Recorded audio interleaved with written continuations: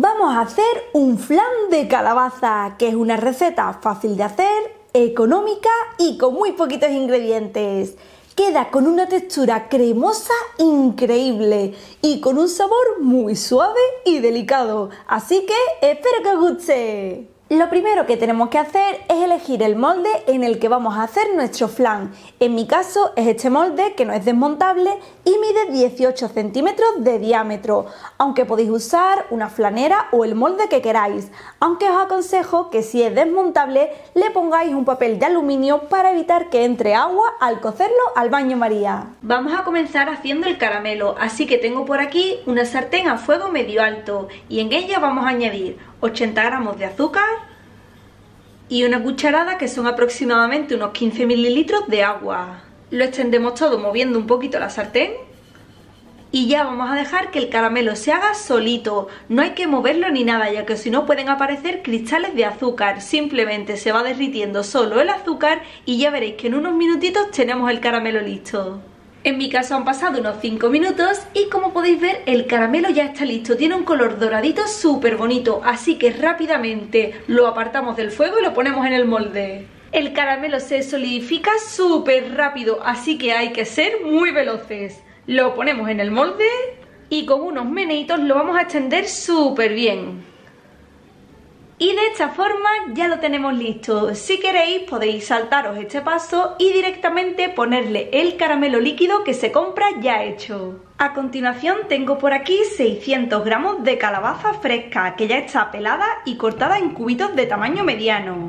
En mi caso la voy a cocer en el microondas, así que la voy a poner en un recipiente que sea apto para microondas. Le añadimos un chorrito de agua, se cubre con plástico film y ya se va directa al microondas. Dejaremos que se haga en el microondas a máxima potencia durante unos 8 o 9 minutos, aunque también la podemos cocer en una olla con agua hirviendo hasta que esté tierna o asarla en el horno. Pasado el tiempo, con mucho cuidadito de no quemarnos con el vapor que está súper caliente, le vamos a quitar el plástico film. En mi caso, como veis, con 8 minutos en el microondas la calabaza ya queda súper tierna, pero ya os digo que el tiempo puede variar. A continuación vamos a pasar la calabaza ya cocida a otro recipiente más amplio y como podéis ver la estoy escurriendo para quitarle todo el agua que ha sobrado durante la cocción. Seguidamente añadimos medio litro o 500 mililitros de leche y lo vamos a batir todo súper bien con ayuda de una batidora de varillas eléctricas hasta que veamos que no quedan trocitos de calabaza. Ahora añadimos el resto de los ingredientes que son 6 huevos de tamaño L, 250 gramos de azúcar y de manera opcional a mí me gusta ponerle media cucharadita de canela molida. Lo volvemos a batir todo muy bien y ya tenemos lista la mezcla para el flan. Vertemos la mezcla en el molde, pero a mí previamente me gusta pasarla por un colador, por si acaso quedase algún trocito de calabaza sin triturar, algún resto de huevo o cualquier cosa. De esta manera el flan nos quedará con una textura más fina. Cuando ya tenemos el molde completamente relleno, como podéis ver lo he colocado en una fuente que es un poquito más grande, porque lo vamos a hacer al baño María así que lo cubrimos con papel de aluminio para evitar que le entre agua. Si utilizáis los típicos moldes para flanes le podéis poner la tapadera.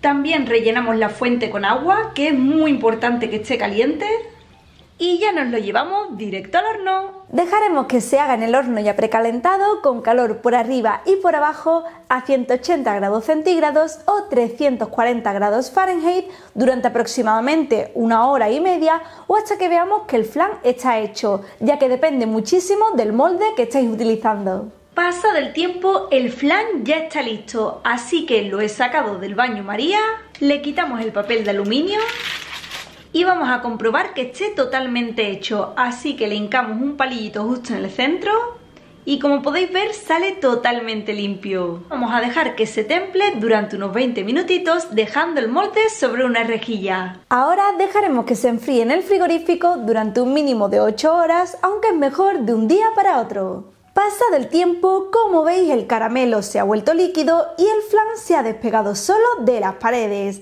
Así que colocamos encima del molde el plato en el que lo vayamos a presentar, le damos la vuelta, quitamos el molde Y nuestro flan ya está listo. Como veis queda muy bien y con una pinta buenísima.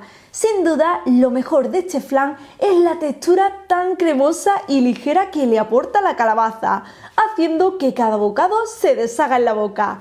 ¡Qué delicia! Si queréis seguir disfrutando de más recetas increíbles como esta, os recomiendo nuestro último libro, Postres para Todos, que podéis encargarlo en cualquier librería de España o por internet. Un besito y nos vemos en la próxima. Adiós.